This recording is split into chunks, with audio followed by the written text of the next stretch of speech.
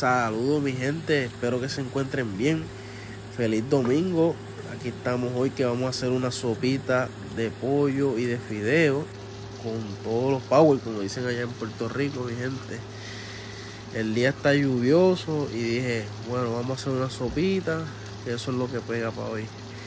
Así que vamos allá. Aquí estamos pelando nuestra yuquita. Vamos a picarla ahora en trocitos para zumbarlas para allá, para la sopita.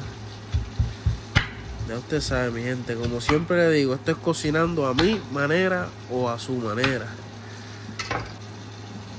Aquí le vamos a mostrar cómo vamos a hacer estas sopitas ricas y deliciosas. Ahí tenemos la papa, ya la montamos, vamos a picarla en trocitos para echarla ya a la sopa. Ahí estamos preparando el agua. Echamos un poquito de sazón. Ahí tenemos ya la yuca ready. Vamos a zumbar las papas, vamos a zumbar la yuca. Ya usted sabe, mi gente. Tenemos los, guineos verdes. Vamos a echarle unos cuantos ahí también. Picarlos y zumbarlos para allá. Ahí tuve que cambiar, mi gente, la olla porque estaba muy pequeña aquella. Entonces puse otra más grande. Ahí estamos ahora picando el pollo que vamos a estar utilizando para la sopa.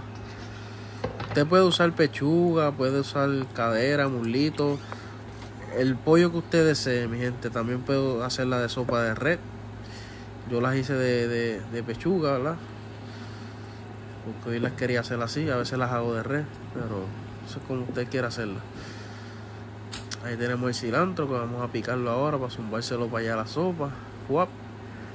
Tenemos sofrito, sofrito que hago yo en mi casa, se está congelado, vamos a zumbarlo para allá. Tenemos los plátanos, ya los plátanos siempre se los echo de último, porque si se los echa del principio se van a deshacer, eso se hacen rápido. Eso es lo último que le echo son los plátanos. Le echo todo primero, la yuca, todo lo que le vaya a echar, y ya los plátanos amarillos de último. Y mi gente, mira cómo se están viendo esas sopitas. Ahí tenemos nuestros plátanos que vamos a zumbárselos ahora. Ahí están, mira, fuap. Esto es fácil y sencillo, mi gente. Y los fideos también de último se los echamos porque también se hacen rápido. Si no, se deshacen todos. Así que mi gente, mira, mira qué rica se ven esas sopitas. El día está lluvioso. Así que mira, esas sopitas bajan de maravilla. Y mira, mira ese platito, mi gente. Esas sopitas ricas y deliciosas con un pan que no puede faltar y el arrocito que tampoco puede faltar. Así que mi gente, nos vemos en otro video. Chao.